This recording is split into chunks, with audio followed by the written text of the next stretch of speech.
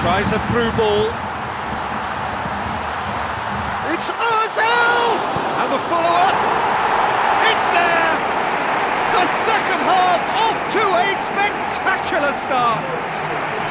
Wow, he was never going to miss from there. Oh, Peter, you can't teach that. You either have it or you don't. His anticipation is on another level to everyone else's. Superb.